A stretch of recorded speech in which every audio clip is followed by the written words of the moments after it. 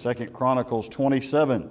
That's on page 516 in my Bible. I don't know what page it's on in yours, but uh, let's do that. You heard the story about uh, this, this man with, uh, he died in a car crash, and his three friends uh, went to uh, the visitation and was viewing his body in the casket. And they said, You know, uh, Rowan was such a nice guy and friend to me that I don't want him to, to leave here empty handed, so I'm going to give him $500. So he puts $500 in cash in the coffin. The next uh, uh, guy says, Well, I agree with you, I'll match your gift. So he threw $500 cash into the coffin. The third guy says, I liked him more than you two. I was closer to him, so I'm going to give him $1,000. And so, with that, he wrote out a check for $2,000, threw it in the coffin, and took out the $1,000 change.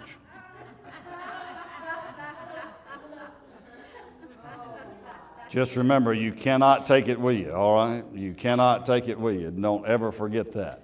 Second Chronicles 27, we're talking about Jotham, and he is mighty in the Lord. I, I, just, I love, I love thinking about this guy. You know, we don't talk much about Jotham. Some of you never heard of King Jotham before. Uh, but Jotham is, uh, I, I, think, a good man to emulate and uh, has, has a lot of good things. Matter of fact, there's nothing bad said about him. He's one that finished to the end. Now, sure, he didn't have as long a reign as, as some of the others, but uh, he, he just stayed faithful to the Lord. Uh, to the very end, and I, I, think that's great. It says there of King Jotham in Second Chronicles 27 and verse 6, it says, So he became mighty, became mighty because he prepared his ways before the Lord his God. We ought to all want to be mighty in the Lord. Uh, and King Jotham was mighty in the Lord. Now, for those of you who are my age, uh, you may have heard of Mighty Mouse. Anybody ever heard of Mighty Mouse? You remember the thing, Here I come to save the day. All right, y'all remember that?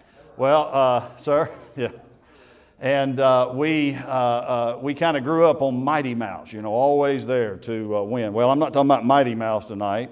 And for those of you who are a little younger, I don't know the latest, but I do know that uh, when John was younger, it was uh, the Mighty, Mighty Morphin Power Rangers. you know, and that was a big deal. They might still be around, I don't know. And so I'm kind of, you know, my son's out of that age bracket, but anyhow. So, not quite into that anymore. But we talk about mighty. Mighty. What does it mean to be mighty? Mighty means strong, it means potent, it means forceful, it means vigorous. Uh, we're commanded, of course, Paul says, be strong in the Lord and in the power of his might. Uh, uh, so, uh, King Jotham was mighty, and we are commanded to be mighty or to be strong in the Lord, potent, uh, forceful, vigorous. Uh, we're, we're to be uh, uh, uh, strong in the Lord, how, how, how very important that is. Not to be a spiritual weakling. We got enough spiritual weaklings in the world, do we not? We need some spiritual might. We need some people who are strong in the Lord, who, uh, who will not be blown about uh, by things that go on in our world, but will be strong in the Lord and will stand up and, and live for the Lord Jesus Christ. We need some people who are going to be mighty, some people who are going to be strong. We know here that uh, King Jotham, 25 years old when he took uh, uh, control of, of Judah, reigned for 16 years. He, uh, he rebuilt uh, the, the temple. Uh, he extended Jerusalem. He, he fought some battles and won some battles. and of course, he was in the line of the Lord Jesus Christ. And he was a, he was a mighty man, a man mighty in the Lord. And uh, we ought to all want to be mighty for the Lord, in the Lord, strong in the Lord, and in the power of his might. I'll give you three thoughts tonight. Some of this you're going to hear, if you were here this morning, you're going to hear it again tonight. Uh, uh, but uh, some different things as well as we go through. Number one, uh, uh, Jotham had a great foundation or a good foundation. He had a good foundation. You remember that he had a godly mother and a godly father.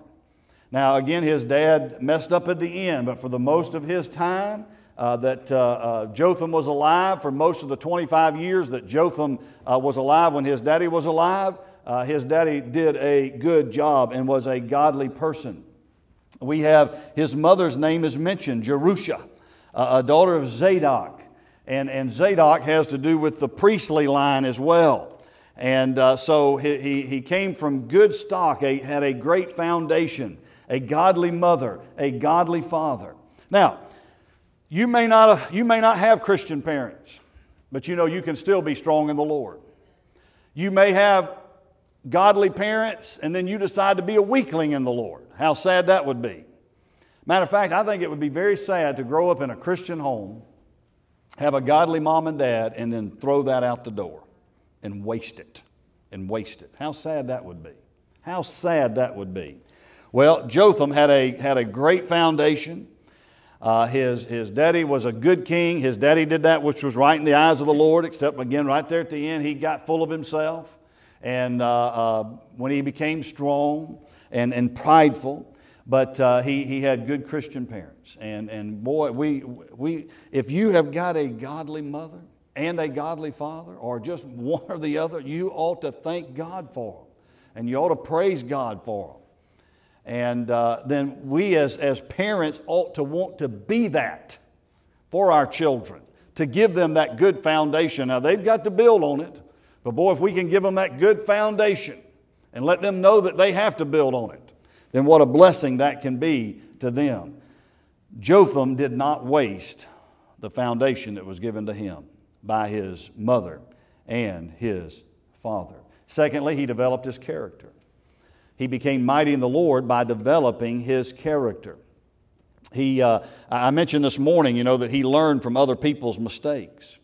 His daddy did get full of himself, became, became prideful, and went into the temple of the Lord to altar incense on the altar of incense. And we know what God did to him. God judged him very severely for that. By the way, again, God could have very well killed him dead on the spot. Okay, he could have killed him dead on the spot. But God gave him that living death, that leprosy uh, that he had. Uh, uh, you you don't, don't take on uh, the idea that you can uh, do what God says not to do and get away with it. It's not going to happen. Not going to happen. Now, do y'all think that Jotham saw what happened to his daddy and that had any effect on him? Ooh, I would think so. Because it wasn't shortly thereafter, of course. I mean, Jotham took over right after that, so he had to be around 25 years of age. So he saw that and, and he knew right then. He said, I'm not going there. I'm not going there.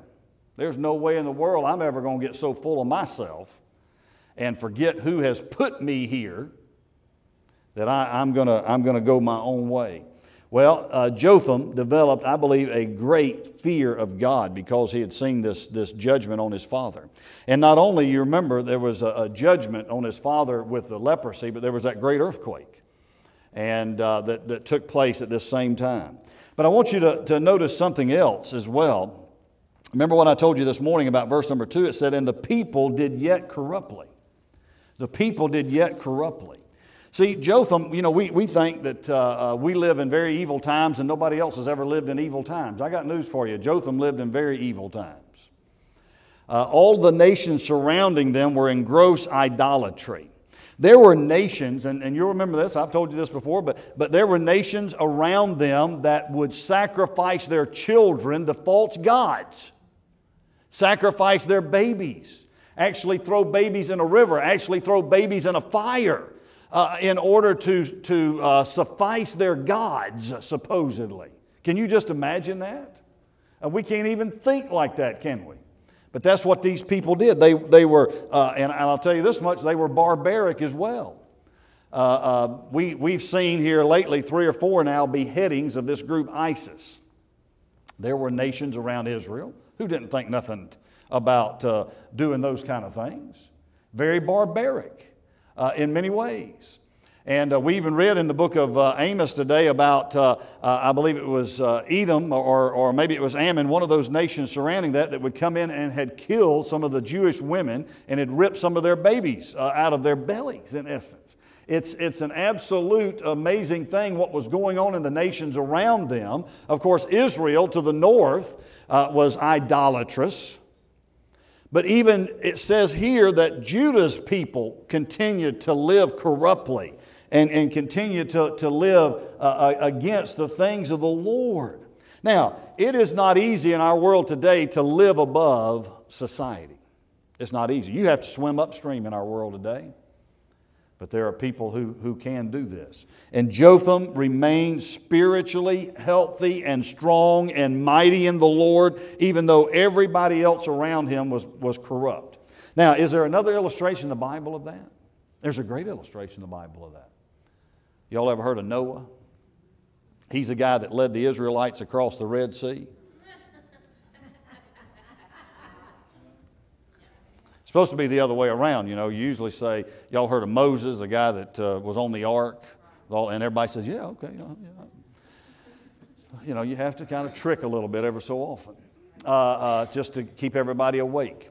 Now, uh, uh, Noah Noah was the guy on the ark, right? Wasn't he the guy on the ark? If I, if I remember my Bible right. Uh, he was the guy on the ark, and he had a wife, and how many sons did he have? Three sons Ham, Shem, Japheth. Okay, had three sons. By the way, again, if you ever get close to Cincinnati, Ohio, go to the Creation Museum. It, they, they do a great job even with Noah's Ark. And they're building a ark. I saw another picture of it today, uh, or this past week I saw another picture of it. And it's, uh, it's coming along. Uh, the, the Noah's Ark, three, four families, Noah and Mrs. Noah, three sons, their wives. Everybody else, the Bible says that God was tired of their evil, their wickedness. God destroyed everybody else on the face of the earth except those eight people. Now, did Noah and, and Ham and Shem and Japheth, did they get involved in the, in the corruption of the world? No, they stood above it. They stood above it. It was very evil, very evil and yet they stood above it. And that's exactly what Jotham did here. He stayed above it. We, uh, now, I will say this. A lot of times, uh, kids who live in Christian homes and who grow up in Christian environments, which there's nothing wrong with that. But sometimes, if they're, if they're not careful and their parents don't just, just get this in their head, once they do have some independence one day, they go out here and they want to try this and they want to try the other and they want to try that. I've never been able to experience that. I've never had anybody around me experience. it. Listen, just stay as far away from it as you can. Stay as far away from it as you can. Don't even dabble with it. Don't even get close to it. Don't even say, Well, I want to try this. You know, I've, I've been repressed all my life. No, uh, I've been sheltered all my life. Well, you ought to thank God that you've been sheltered and repressed. Uh, there's so many things in this world that, that we can't even imagine uh, going on, uh, that, that we would be shocked. Uh, we was watching TV the other night and saw the thing from Charleston, South Carolina over here. I don't know if anybody saw the Dateline the other night uh, that had uh, Chris Latham and Nancy Latham. Her, now she's got her last name is Cannon, over in Charleston, South Carolina, just around the corner over here. Uh, he was a big bank executive at Bank of America, making 650 grand a year. And did you tape it and you're going to watch it later? Oh, I saw, okay. Well, you you came to the wrong church tonight, then. You should have went to another church. Uh, uh, uh, because you're getting ready to hear the conclusion of the matter here. Uh, I just saw her put her hands on her ears, and I said, okay. Anyhow, the, uh, he, she gets breast cancer, and he really shows no concern for her. And then he gets him a little sweetie on the side, you know. And how sad.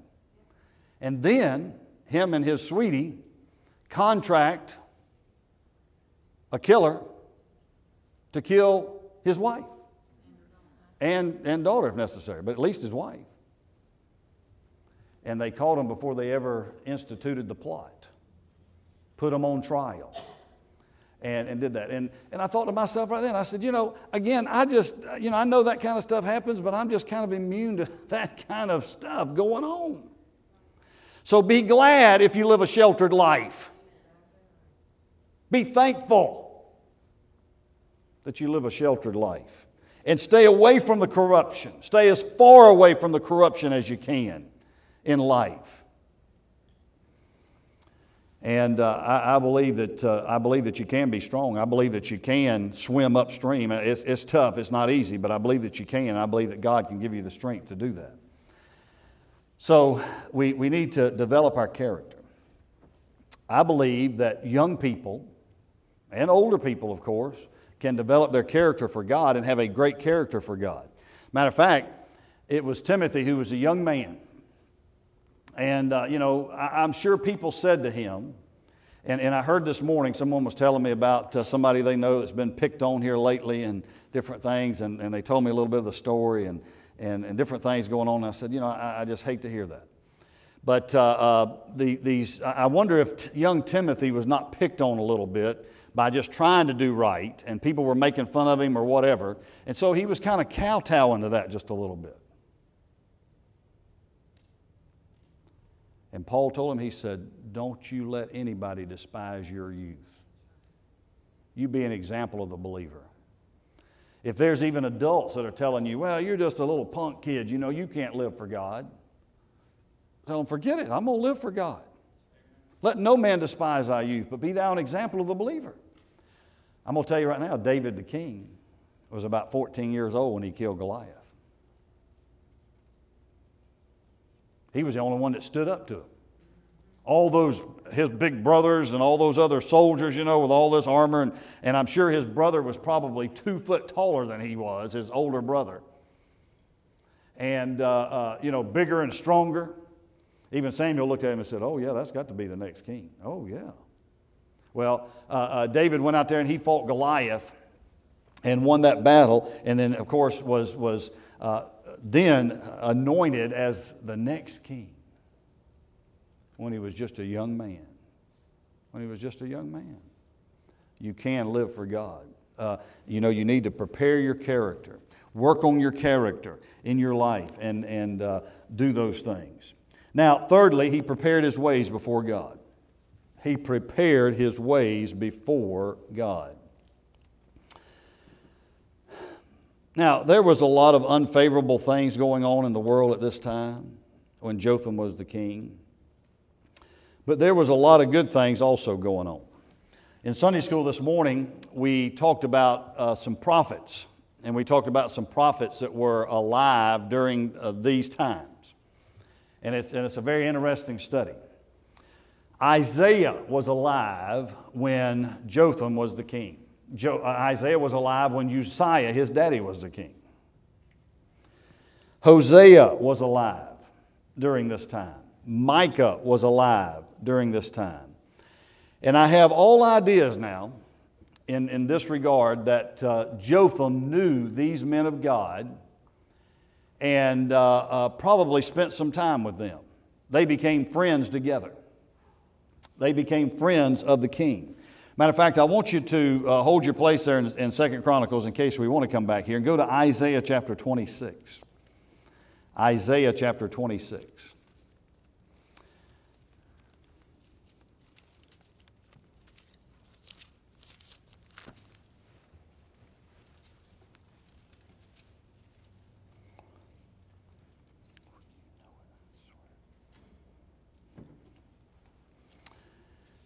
Well, I just realized that I have wrote down again the wrong verse. Doggone it.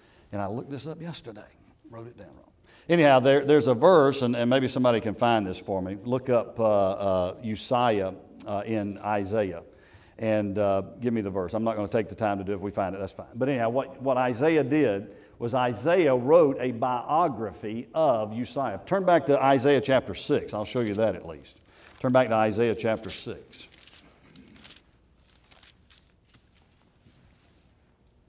Isaiah chapter 6. And it says, In the year that King Uzziah died, I saw also the Lord sitting upon a throne high and lifted up, and his train filled the temple. So here now is Isaiah talking about when King Uzziah died, what he saw, and then who took over from King Uzziah? Jotham took over from, from King Uzziah. And so Isaiah was alive. And, and I, want to, I, want to tell you that there was probably times that uh, Jotham spent some time with Isaiah. There was probably time that Jotham spent some time with uh, Hosea, maybe, and, and Micah, uh, possibly, and, and had, had these Christian friends who could help him and who could encourage him to stay above uh, falling into sin or even doing the thing that his daddy did. I have all ideas, and, and I want to encourage you tonight uh, to, to make your friends, to make your friends good Christian friends. The people that you can depend on, the people that are going to bring you up and not drag you down. The Bible says that uh, Jotham became mighty. He prepared his ways before the Lord his God. Jos- uh, Hosea even said that uh, uh, our hearts are like, like the ground. And Jesus even talked about this, of course, but our hearts are like the ground that, that uh, and, and if we're not careful, they will be hard and unproductive. But they need to be uh, uh, made tender and, and productive. And it's time to seek the Lord, he said in Hosea chapter 10 and verse 12. It's time to seek the Lord till he come and rain righteousness upon you, to, to make your uh, ground fallow, to plow up the hard ground of our hearts and make it strong, uh, make it productive, make it tender uh, for him. Preparing our hearts before the Lord means that we're going to let the Word of God and the Holy Spirit kind of bust up our heart like, like a, a till, tiller going through the soul. Some of you have tilled some ground or you, you've dug up some ground, surely, in your life. And, and uh, you know, that, that shovel or that tiller goes down and that ground is hard, but boy, you can break it up and, and make it soft uh, just by tilling it. Well, that's what our hearts need to do. The Word of God needs to be that shovel or that tiller that gets into our life and it, and it causes our heart to become tender uh, for the Lord. I, love the fact, go back if you would to Second Chronicles 27 again, where it says, He prepared His ways before the Lord. He prepared His ways. Go back to chapter 12 of Second Chronicles, chapter 12 of Second Chronicles. Who was the first king of the southern kingdom of Judah? Who was the first king of the divided kingdom? Anybody remember? Rehoboam. That is correct. Solomon's son, Rehoboam. When we studied Rehoboam, I preached a message on this, and I want to remind you what it says here of Rehoboam. Look at verse 13 of Second Chronicles 12. It says, So King Rehoboam strengthened himself in Jerusalem and reigned, for Rehoboam was one and forty years when he began to reign, and he reigned 17 years in Jerusalem the city which the Lord had chosen out of all the tribes of Israel to put his name there, and his mother's name was Naaman Ammonitess. Look at verse 14. And he did evil because he prepared not his heart to seek the Lord. You go to Second Chronicles chapter 27 and you see King Jotham, and what does it say? He was mighty because he prepared his heart to seek the Lord. Was Rehoboam described as a good king or a bad king? He was described as a bad king. He really followed the Lord. He, he reigned for 17 years, and the Bible tells us that he followed the Lord for three years of that 17 years. That was it. Three years of that 17 years. And the Bible says that he did evil because he prepared not his heart to seek the Lord. And then we flip over a, a, a, few chapters and a few years later, and we see King Jotham, and we see that he was mighty. He, he did that which was right in the sight of the Lord. He was mighty because he prepared his heart. He prepared his ways. He prepared his life before the Lord, his God. Wow. What a contrast. What a contrast. Bad king, good king. Did evil, did good. Didn't prepare, did prepare. What makes the difference? Preparing. Preparing. Too many people, sad to say, start off loving God and excited about God, but later grow cold and walk away from Him. I believe it's because they did not prepare their hearts to seek the Lord. The Hebrew word prepare means to stand perpendicular, to establish, to fix, to prepare. It conveys the idea of a deliberate, deliberate effort over a prolonged period of time. The word prepare that we see in Second Chronicles uh, is also found in other places in the Bible, and it's, and it's translated actually in a different way. It's prepare here, but it's translated fixed in other places. Matter of fact, I'll show you one of those. Go to Psalm 57. Psalm 57. Did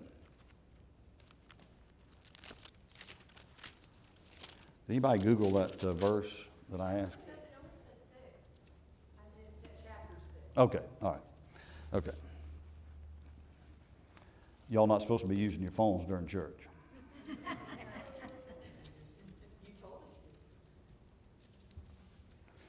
Psalm 57, verse number 7. My heart is fixed, O God, my heart is fixed. I will sing and give praise. Now, who wrote that? When did he write it? All right, if, if you have a Bible that has the thing is at the top of the psalm, it says to the chief musician Al Tashith, Miktam of David, when he fled from Saul in the cave. Now, I don't know about y'all. If somebody's trying to kill me, I, am going to have a hard time fixing my heart on the Lord. I'm going to have a, I'm gonna, my heart is going to be fixed on saving myself. You understand what I'm saying? David said, My heart is fixed. And, and the word has to do with basically being prepared. And, and he said, My heart is fixed, O God, my heart is fixed. I will sing and give praise. He said, God, my heart is in the direction of following you. It is fixed on that. I'm not going to change it no matter what goes on in my life. I'm not going to change it. That's what Jotham said basically. Uh, he, he prepared his ways, or we could say he fixed his ways before the Lord his God. He focused in on those things and would not get off to the right or to the left. The word fixed there means in position, stationary, not subject to change or variation, constant, firmly held in the mind, a fixed notion.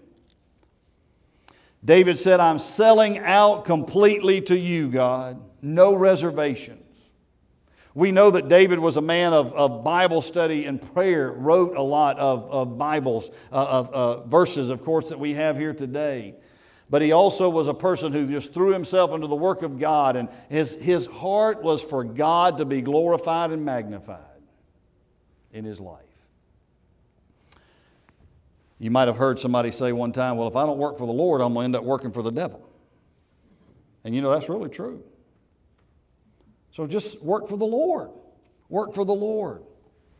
Uh, just give it all to Him. Prepare your ways. Fix your heart on God and His ways.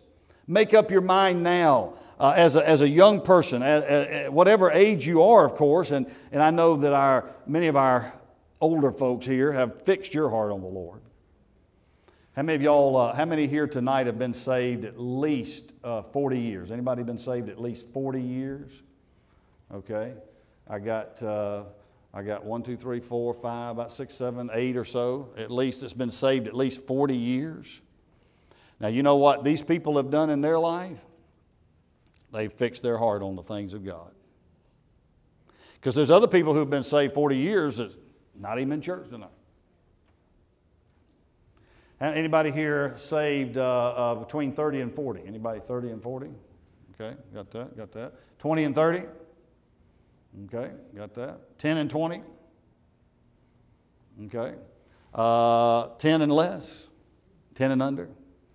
Okay, hopefully everybody raised their hand tonight. If not, then you need to stay after and talk to me. Uh, we, we've uh, uh, known the Lord and our hearts are fixed. You know, we, li- we live in a world that's corrupt. We live in a world where you can get easily discouraged, very easily discouraged. But you know what we got to do? We just got to stay, stay true, stay faithful. King Jotham, I, I will tell you, this guy is a great example. Great example. He said, uh, I'm going to do that which is right in the Lord. I'm going to prepare my ways. And then, of course, God made him mighty but strong. And we need to be strong for the Lord, mighty in the Lord through the Holy Spirit.